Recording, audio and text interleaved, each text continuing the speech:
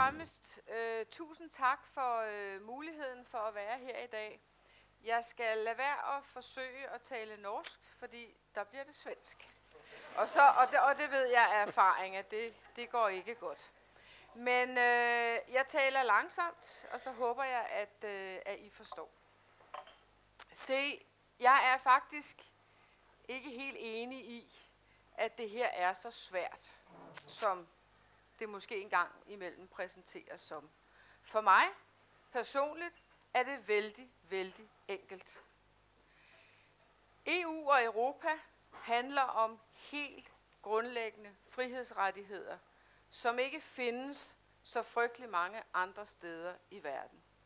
Det handler om menneskerettigheder, det handler om freedom of speech, altså det, at jeg kan stå her i dag og tale frit og mene det, jeg nu mener. Og det handler naturligvis også om, at pressen, medier, har fuldstændig frihed. Disse grundlæggende rettigheder er en forudsætning for et virksomt og interessant demokrati. Og for mig er det det, det hele handler om. Se, øh, man kan male med en meget, meget sort pensel, og det skal jeg også nok gøre lige om lidt.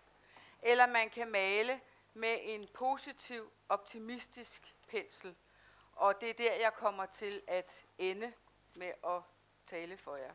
Fordi jeg tror på det her projekt, og jeg tror på, at det i virkeligheden er borgernes projekt meget, meget mere end nogen af os i virkeligheden igennem de seneste 10-20 år måske har indset og ville realisere. Vi har lavet det være op til nogle store virksomheder, vigtige politikere, og vi har tænkt, lad dem bare tage sig af det. Det er alligevel langt væk. Det har nogen forsøgt at bilde os ind. For mig er det helt nært på. Jeg fulgte med stor interesse både øh, Farage og UKIP lige op til Brexit. Og det var interessant på mange, mange måder.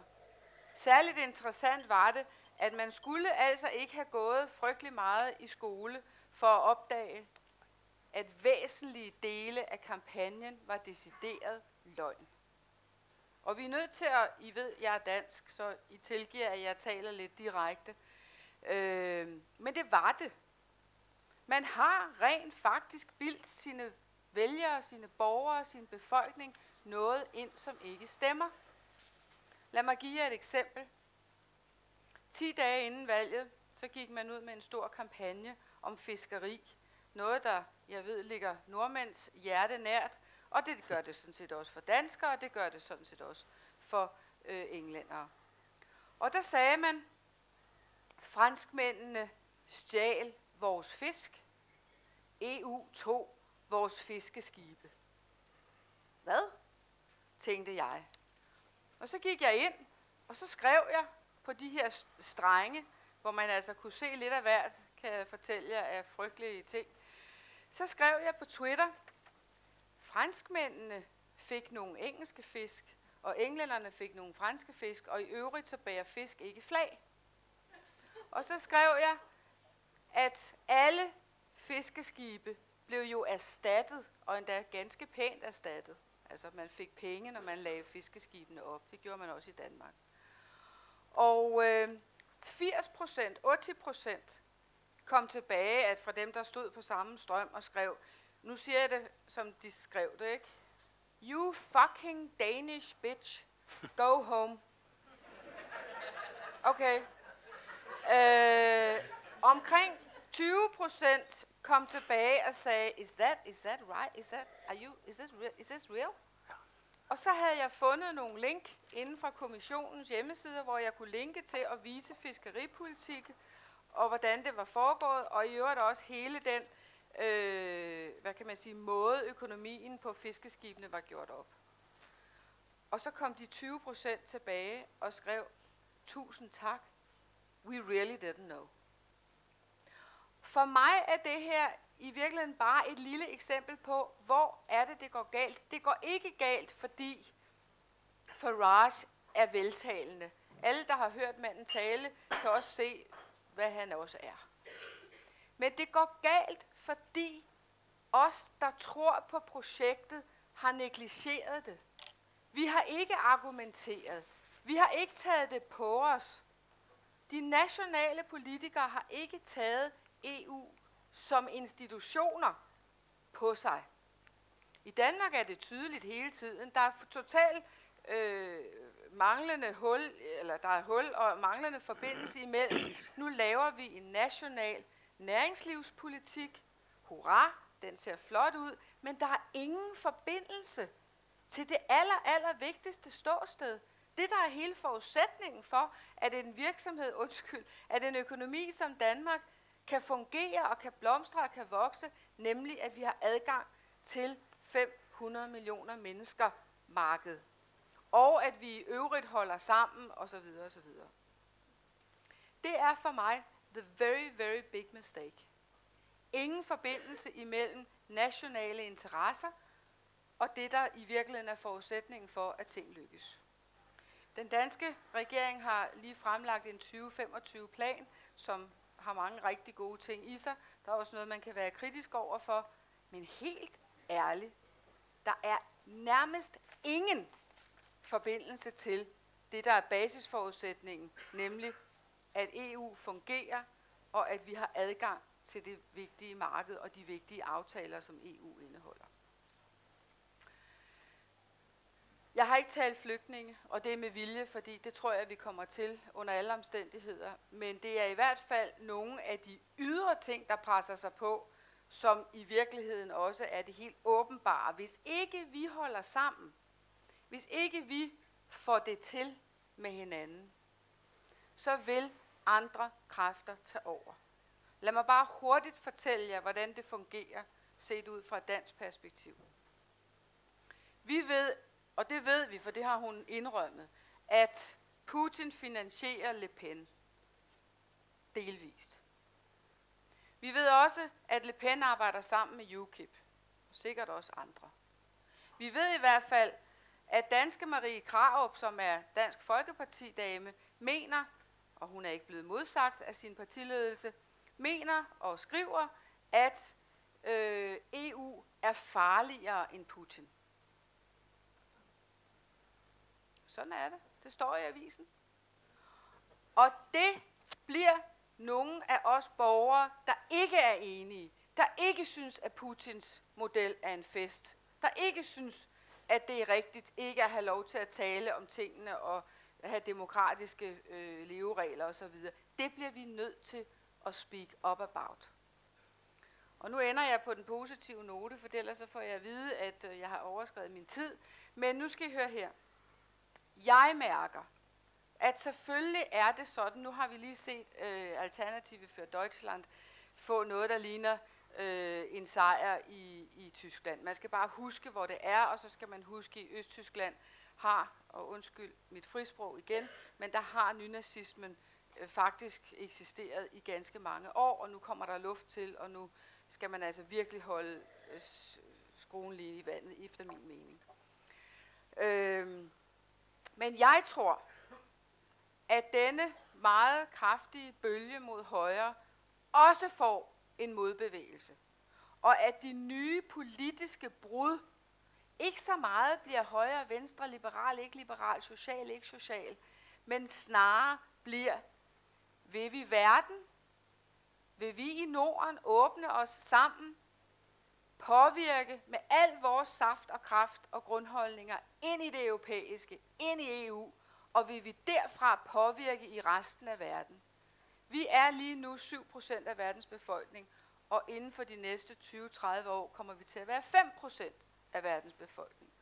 Og vil vi med alt det, vi har kunnet siden vikingetid, og med alle vores store tænkere og flade øh, hierarkier og alt det, vil vi have, at det skal have en gang ind i verden, så er det nu, mine damer og herrer, vi skal holde sammen på det hele og arbejde for det. Tusind tak.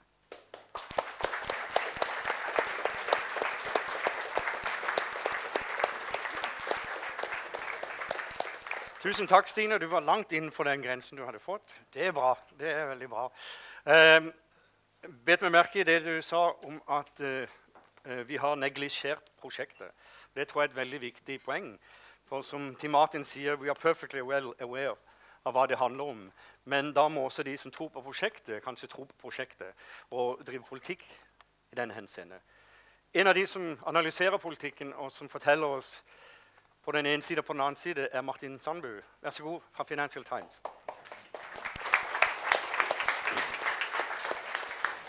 Tusen takk.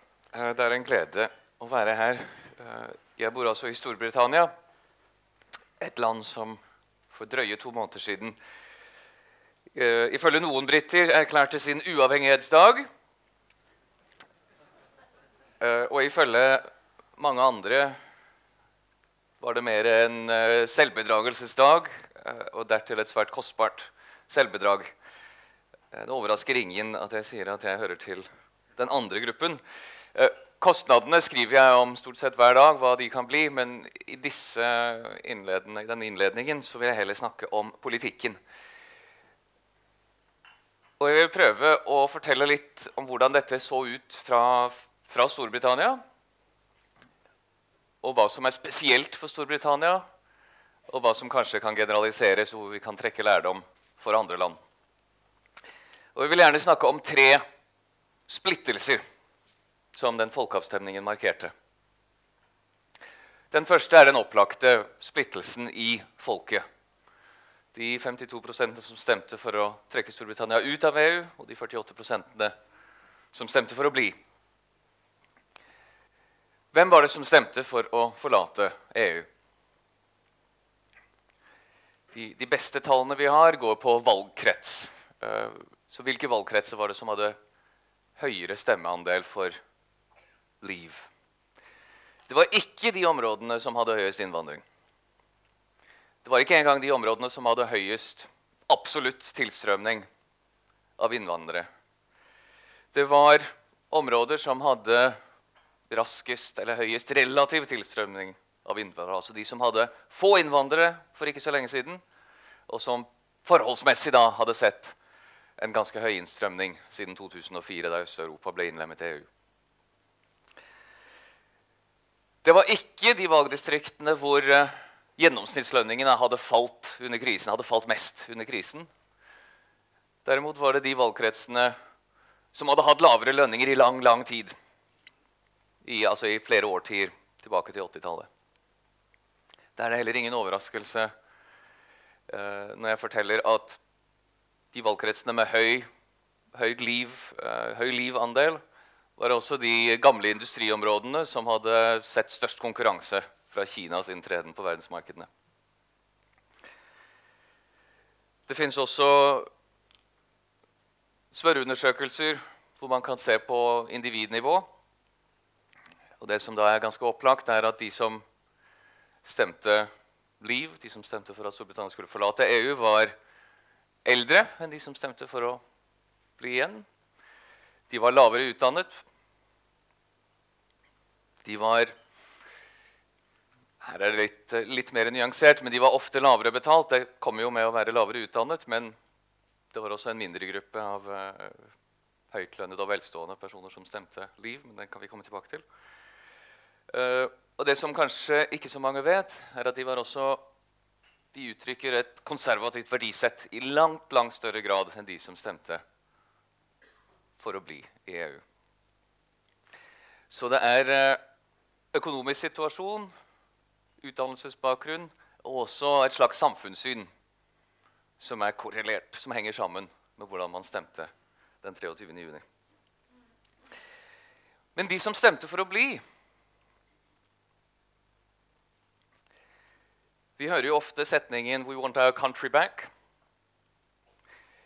Hvis vi prøver å spørre hvilket land er det de vil ha tilbake, altså mitt, mitt, beste forsøk er egentlig å si at de, eh, de, lengter tilbake til det som var sosialdemokratiets høytid, i, ikke bare i Storbritannia, men i, i hele Europa. Altså De gode vekstårene på 50-60-tallet. Det er den typen samfunn som, som, blir idealisert. Og alt dette her har jo Storbritannia til felles, ikke bare med mange andre europeiske land, men med USA. Det er akkurat den samme typen, de samme velgergruppene som støtter Trump i USA. Så den splittelsen viser at dette egentlig ikke har noe med EU å gjøre, men noe veldig dypere. Det har noe med en, et velgeropprør mot de forandringene vestlige samfunn har vært gjennom de siste 30-40 årene, som har delvis med globalisering å gjøre, delvis med innvandring å gjøre. Men det glemmer vi ofte. Også teknologiske endringer som har ført til veldig dype økonomiske, strukturelle endringer. Og det er en ganske stor gruppe mennesker som uh, ikke har dratt fordel av de endringene. Og som også har sett den typen samfunn de eller deres foreldre levde i, uh, har lidd under de uh, endringene. Så den splittelsen finner vi i stort sett alle, i hvert fall alle vestlige land, kanskje alle europeiske land, eh, også USA. Den andre splittelsen tror jeg er mer spesifikk for Storbritannia. Og det er en splittelse innenfor den politiske eliten. Euroskepsisen i Storbritannia,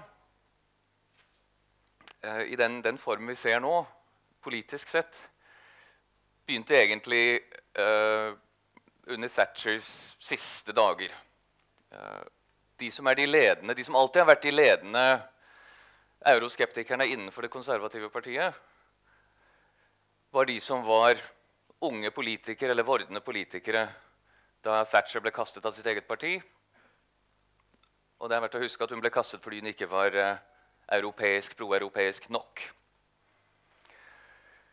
Samtidig var jo ikke Thatcher den euroskeptikeren hun males som nå. Fellesmarkedet ble til i stor grad pga. På, pådrivning av den uh, britiske regjeringen under Thatcher. Kvalifisert flertallsavstemning, alt det som hører med i uh, The Single European Act, og mye av det som senere kom i Maastricht. Mye av det kom fra Storbritannia, ble støttet og presset frem av Storbritannia nettopp for å ha et mer effektivt marked. Men det var altså en del av det konservative partiet som rundt 1990 så Thatchers fall som, uh, som en slags arvesynd, som EU-medlemskapet og og, det anspente forholdet til EU brakte inn i britisk politikk. Det har vedvart og blitt forsterket. Og Det er delvis pga. en annen slags splittelse innenfor eliten, uh, som er med hvordan EU fremstilles, og hvordan EU faktisk fungerer. Og Det gjelder kanskje spesielt Storbritannias rolle og forhold til EU. Og Da tenker jeg på den britiske pressen og hvordan EU fremstilles i den britiske pressen. Som Stine var inne på, så var jo valgkampen full av løgn. Men det er jo ikke noe nytt. Altså Helt fra tidlig på 90-tallet har store deler av britisk presse fortalt skrøner og vandrehistorier og direkte løgner om EU. Og ett navn er spesielt viktig i den sammenheng. Det er Boris Johnson, som tidlig på 90-tallet ble Brussel-korrespondent korrespondent for The Daily Telegraph og som eh, selv har, uh, har, sagt, selv har medgitt, at han fikk og nå siterer jeg fra et intervju med ham fra noen år tilbake, fikk en merkelig følelse av makt ved å kunne kaste en murstein over hekken og høre at den landet i glasshuset på andre siden. Og Det var akkurat det han gjorde. Og det var journalistisk. Uh, det var en stor suksess. Det solgte. Og andre journalister fra Brusselskorpset på den tiden forteller jo at det var litt avhengig av hvilken avis man jobbet for. Det ble et krav om å den, skrive den slags historie fra andre redaksjoner også. Det, da snakker vi ikke om aviser som Financial Times, men aviser som blir lest av 20 ganger så mange lesere. Um, så det, det er veldig viktig å ha med hvilket bilde britiske statsborgere har av, blitt gitt av EU i 25 år før man kom så langt som til en folkeavstemning. Og mye av eliten som vet at ting er annerledes, har eh, av bekvemmelighetsgrunner og politiske grunner gått med på den retorikken. Enten aktivt ved å spille opp til den. Du kan vinne noen velgere på å gjøre narr av EU. Eller i hvert fall å ikke motstå den. Så situasjonen selv før folkeavstemningen ble utlyst, var at det var nesten umulig for en britisk politiker uh, å snakke om EU på en positiv måte og ikke bli, uh, ikke bli utledd. Og når du har latt det skje i 25 år, så er det veldig vanskelig på fire måneder å skulle begynne å fortelle historien om hva EU har gjort for verden, for Europa og for Storbritannia. Og særlig det at Storbritannia har hatt enorm innflytelse og har stort sett fått det som det vil innenfor EU. Mange av disse, den politiske eliten som ledet eh, Liv-valgkampen i den grad de har et mål for hva de vil se etter brexit, så er det noe helt annet enn det velgerne har. Og da, dere vet at David Davis snakket til uh, parlamentet i går. Snakket om de store, nye horisontene.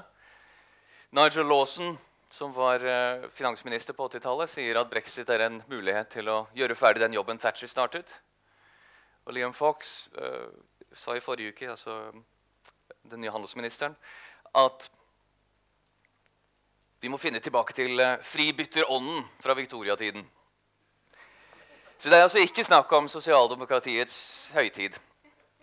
Så det er en bedrift av de store, en politisk bedrift av de store at denne eliten har kunnet representere denne velgermassen. Uh, og det kommer til å føre til konflikt. det kommer vi til å se. Men det er også en forskjell fra resten av EU, som er at uh, i resten av EU og for så vidt i USA så blir dette velgeropprøret representert av folk som er outsider i den politiske prosessen. Ikke i Storbritannia. Det er insidere som ledet det. Veldig raskt, Den siste splittelsen handler om den splittelsen som, som folkeavstemningen selv forårsaket. Uh, og det man ikke kommer forbi, er at, valgkampen handlet først og fremst om forholdet til utlendinger. Enten innvandrere i Storbritannia eller hvilken innflytelse andre land har på den politikken man fører i Storbritannia. Selvråderett og innvandring var de store temaene. Og det er dessverre ikke noen overraskelse, selv om det er et sjokk, at i uken etter folkeavstemningen ble det eh, rapportert om en mengde eh, antastelser, angrep på utlendinger. Bare forrige uke, for en uke siden, ble en polakk slått i hjel i et eh, bygdesentrum i Essex. Og det har vært flere angrep siden. Det er en sånn veldig, veldig mørk understrømning som folkeavstemningen slapp løs. Men det har også kommet på et sjokk på de som stemte for å bli, som våknet 24.6. Jeg har hatt uh, utallige samtaler med venner og kolleger om hvilket sjokk det var. Et følelsesmessig sjokk om å finne ut at dette er et helt annet land enn det vi trodde vi hadde. Så bare avsluttende. Nå er det altså 48 nå er det de som har begynt å tenke «We want our country back». For de trodde de hadde et åpent, tolerant samfunn. Og det viste seg at de ikke hadde det. Og Et tegn på det er at det må ha vært første gang var det også en demonstrasjon for EU i Westminster i juli. Jeg tror det er første gang jeg har sett en stor mengde briter veive med EU-flagg, europaflagg. Det ville vært helt umulig før 24.6. Så jeg avslutter med den tanken at uh, den polariseringen vi ser, den er blitt drevet lengst i Storbritannia. Det er noen spesifikke grunner til det, bl.a. at eliten var med på det. Men det har også ført til en slags bevisstgjøring i den delen av befolkningen som er EU-vennlig. De har i hvert fall nå tatt bladet fra munnen, og det går an å si at man er for EU uten å skamme seg i Storbritannia. Og Det er en viktig endring som også jeg tror uh, gir grunn til håp. Tusen takk.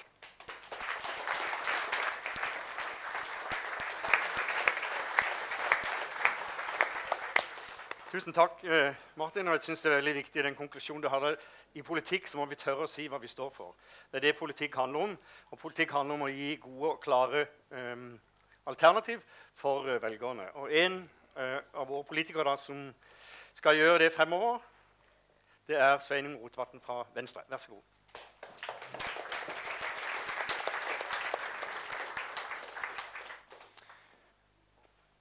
Takk for det. Um, og eh, god morgen, alle sammen. Etter brexit, hvor går EU? Det er dagens tekst. Uh, vel, så langt så er det ingen som har gått noen plass som helst. Uh, Storbritannia har fortsatt ikke aktivert uh, exit-mekanismen i EU-traktaten og strever fortsatt med å finne ut hva det er de egentlig vil. Litt som en katt som har mast og mast om å få slippe ut av huset, men som når døra endelig åpner seg, blir stående på dørterskelen og stirre ut i det ukjente. Men den katten kommer neppe til å snu. Eh, på et eller annet tidspunkt så går den nok ut av huset. Eh, og hva vil da stå igjen? Jeg har alltid vært optimist på vegne av EU-prosjektet. Eh, EU har så langt i historien sin kommet styrka ut av hver krise. Mer samla, større, tettere integrert. Det kan bli resultatet denne gangen også. Men resultatet kan også bli noe helt annet. Det er nå for kanskje første gang en helt reell risiko for at EU-prosjektet stagnerer, forvitrer ja, kanskje sågar går i oppløsning. Det ville i så fall vært ei ulykke for Europa, etter min mening. Det er eh, mer enn nok å kritisere EU for. Nær sagt eh, selvfølgelig. Det er jo ikke et slags eh, historiebestemt nirvana vi snakker om her. Det er en politisk forhandlingsarena. Og politiske forhandlinger og kompromiss de kan som kjent være både lite kloke og beint fram feilslåtte. Men det vi snakker om som nå står i helt reell fare, det er altså et prosjekt som gjennom 60 år har bevart freden mellom sine medlemmer og på sitt kontinent, som har hindra handelskriger, som har skapt et friere liv for millioner av mennesker, som har gitt mer effektiv konkurranse, mer effektiv ressursutnyttelse, ført en ambisiøs miljøpolitikk og sørga for at dine muligheter som person eller som bedrift ikke er begrensa av nasjonaliteten din, men ideene og talentene dine. Og det er inga lita bedrift bare det. Men ingenting av det er heller irreversibelt. Interessant nok så kan en del av reaksjonene etter brexit tyde på at nettopp det poenget er i ferd med å synke inn hos en del europeere. I alle fall så har vi sett flere meningsmålinger som viser støtta til EU faktisk nå øker betraktelig i mange EU-land etter brexit-avstemningen. Hvordan er stillinga i Norge, da? Ja, Her står nå meningsmålingene ganske stille. Um, med overveldende flertall mot norsk EU-medlemskap, slik det har vært i godt og vel ti år. Men nå er vi jo inne i, i partiprogramtide, Uh, og Der er det enkelte bevegelser å se. Uh, Frp, som ikke før har tatt stilling til spørsmålet om norsk EU-medlemskap, har nå lansert et program som går eksplisitt mot norsk EU-medlemskap. Venstre, som uh, heller ikke har tatt stilling til norsk EU-medlemskap, så langt har lansert et programutkast som går i motsatt retning, med åpning for medlemskap. Noe jeg selvsagt er glad for. Men eh, så har jeg jo alltid meint at når Frp og Senterpartiet er enige om noe, så er det en god tommelfingerregel å gå inn for det motsatte.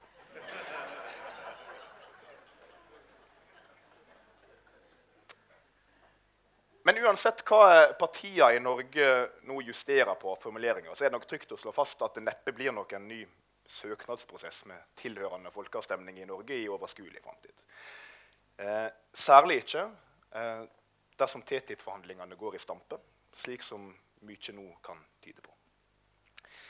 Eh, så må vi nok likevel da leve med denne norske modellen i noen år til. En eh, modell som ble ganske treffende beskrevet av NUPI-direktør Ulf Sverdrup i sommer. Eh, han mente at EØS-avtalen er litt som en iPad. En får jevnlig beskjed om at det har kommet en ny oppdatering. Så trykker en OK, Vilkårene blir knapt lest og er definitivt ikke et diskusjonsspørsmål.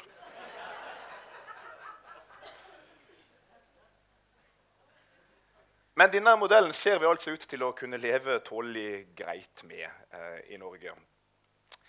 Eh, I en slags terrorbalanse egentlig, mellom ei eh, ja-side, som jo vet at de ikke ser ut til å vinne en ny folkeavstemning, og ei nei-side, som på sin side vet at denne husmannskontrakter vi har, er prisen en må betale for den høyt skatta sjølråderetten. Hvor eh, illusorisk den enn måtte være. Eh, for min egen del så har jeg alltid ment at det er bedre å ha ei hand på rattet enn å ligge i bagasjerommet. Selv om en får styre med sin egen landbrukspolitikk baki der. Interessant nok så kan den norske modellen faktisk være eksporterbar til eh, de britiske øyene. Jeg hører veldig mange si at Storbritannia er en altfor stor og stolt nasjon til å kunne finne seg i direktiv fra Brussel uten mediebestemmelse. Jeg er jaggu ikke så sikker på det. Denne ordningen er jo like problematisk i Norge. Og selv om vi ikke er Storbritannia, så er vi jo heller ikke Liechtenstein. Norge er altså EØS-områdets tiende største økonomi. Og nettopp den samme terrorbalansen som vi har sett i Norge, kan jo fort oppstå i Storbritannia. Nemlig at integrasjon i det indre markedet uten medbestemmelse blir det nasjonale kompromisset som de to sidene kan bli enige om.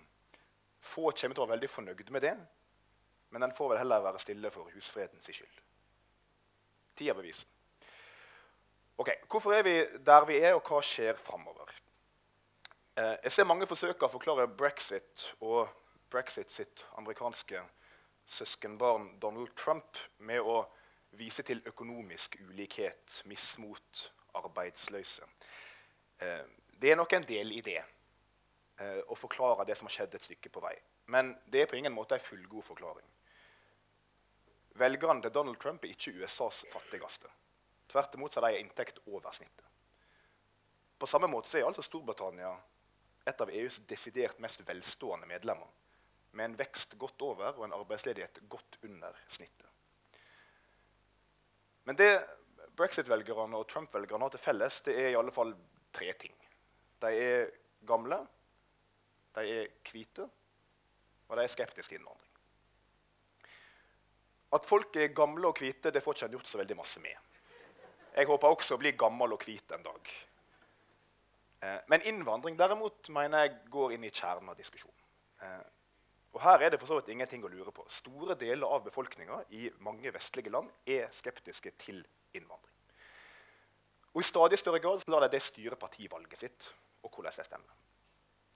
Så kunne jeg sikkert sagt mye om hvordan den skepsisen ikke er spesielt godt fundert i, i, realitetene. Jeg kunne sagt mye om hvordan innvandring fører til økonomisk vekst, og har gjort det både i Storbritannia og i USA. Jeg kunne sagt mye om hvordan folk har et ekstremt overdrevent syn på hvor mange som faktisk kommer. Og ikke minst hvordan de som har færrest innvandrere i nabolaget sitt, er de som er mest skeptiske til innvandring. Men ingenting av det endrer jo realiteten. Nemlig at mange mener at vi trenger sterkere kontroll med innvandring.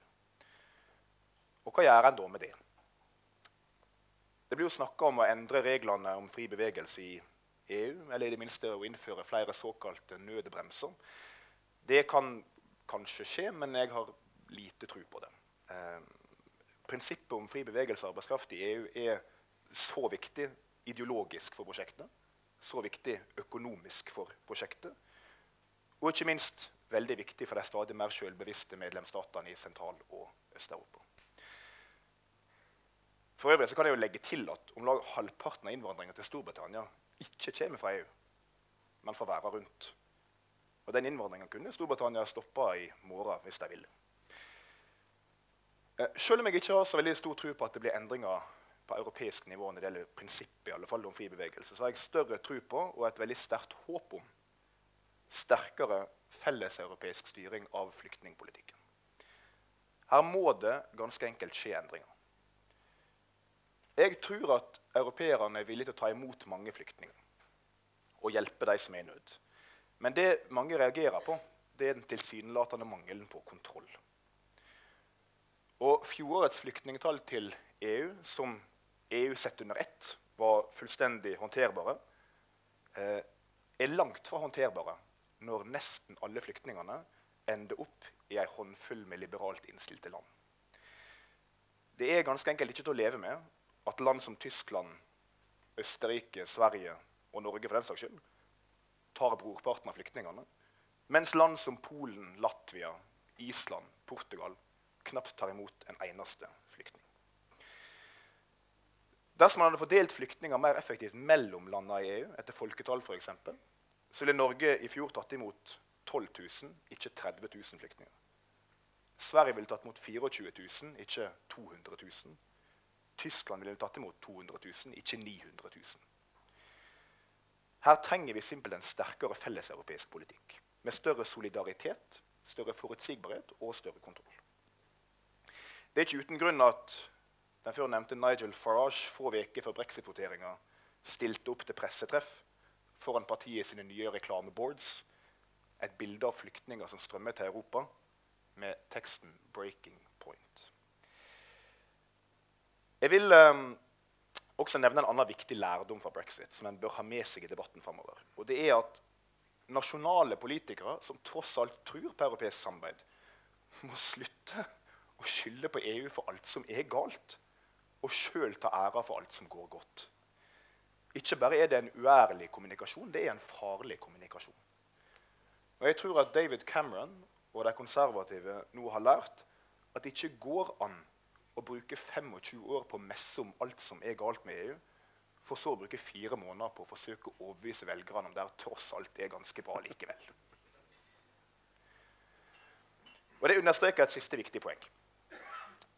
Og Det høres litt kontraintuitivt ut, men jeg mener at de som kjemper mot europeisk samarbeid, aldri har fått reell motstand.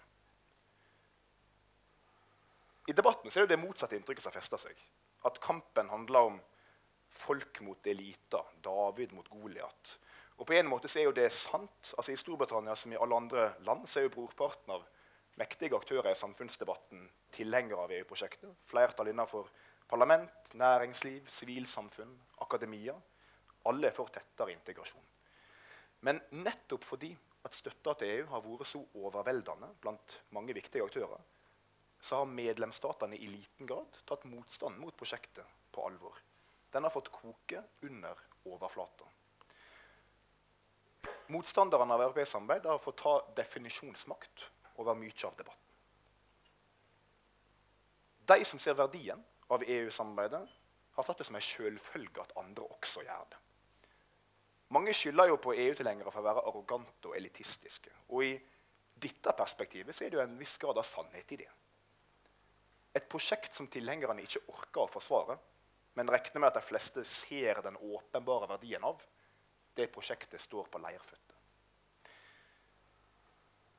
Bad men need nothing more to compass their ends than that good men should lock on and do nothing, sa John Stuart Mill.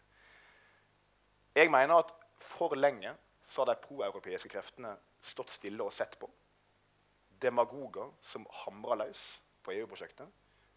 Og jeg mener at det viktigste han gjør nå, det er at de som faktisk støtter forpliktende samarbeid på tvers av landegrenser, tar steget fram og sier det høyt. Takk for meg.